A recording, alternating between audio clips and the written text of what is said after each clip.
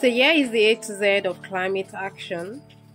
Already climate change is already a reality, but climate justice is needed for all. Due to the climate crisis, every bit of warming matters.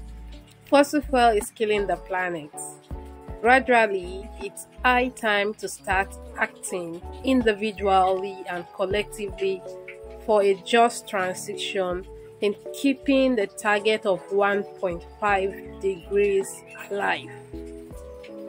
Lot of actions are needed, including making our commitment a reality, known to all sustainable activities, or stemming down emissions persistently and consistently, quitting from fossil fuel activities, reduce, recycle, and reuse plastic start championing climate action, teach climate education universally across various countries.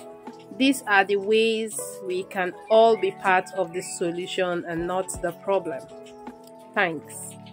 You can be the change we want.